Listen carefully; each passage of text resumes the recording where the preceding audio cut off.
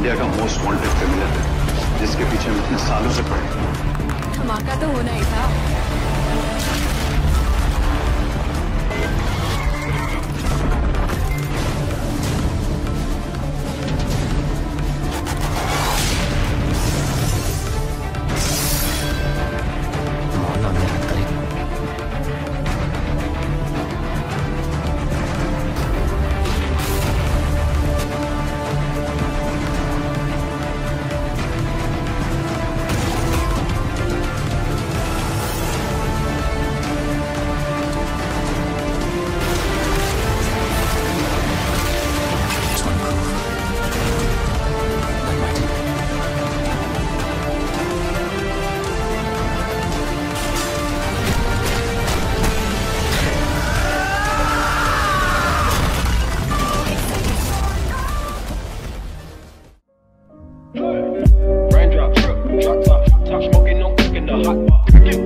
this year. Dot, dot, dot. Looking up over the park.